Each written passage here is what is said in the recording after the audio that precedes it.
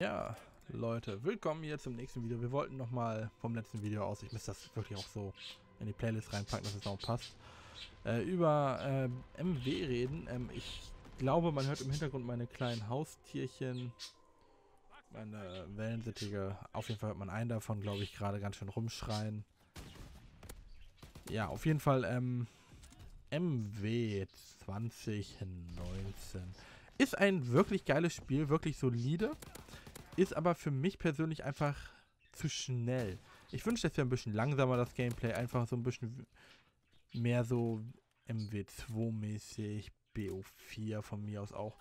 Viele sagen, BO4 hatte so ein richtig schnelles Gameplay, dadurch, dass es ja ähm, mit Wall One, also BO3, BO4 oder so, diese Games hatten so schnelles Gameplay wegen Wallrunning, Doppelsprünge oder was auch immer. In meinen Ansichten nicht. Das Gameplay war immer noch sehr langsam nur die Möglichkeiten, sich zu bewegen, wurden erweitert. Gefühlt aber jetzt hier in MW, ich will mal MW2 sagen, MW 2019, also das neue Modern Warfare, das neue MW, ist das Gameplay wirklich sehr schnell, wurde nicht, wurde nicht erweitert, sondern ist einfach nur wirklich schnell. Die Time to Kill ist so dermaßen kurz, dass man den Gegner nur anhusten muss. Man muss noch nicht mal wissen, von wo er kommt. Also man hat keine Zeit zu reagieren. Wenn ich jetzt hier angeschossen werde, habe ich rein theoretisch noch eine Zeit zu reagieren. Aber normalerweise nicht. Hat man das bei MW nicht. Ich muss sagen, das Crossplay finde ich persönlich akzeptabel, aber ich habe schon Runden gehabt, da hat es gar keinen Spaß gemacht, weil da haben Konsolenspieler mit PC-Spielern zusammengespielt, aka PC ich, Konsole sie. Und die hatten, die konnte man so einfach teilweise outplayen. Ich habe keine Ahnung. Das ist, manchmal hast du Leute auf der Konsole, da denkst du dir, die hacken, weil direkt auf den Kopf drauf, Headshot, dann den nächsten, nicht direkt ein Headshot, aber wirklich auch immer wirklich on point. dann hast du Konsolenspieler, die gar nicht treffen.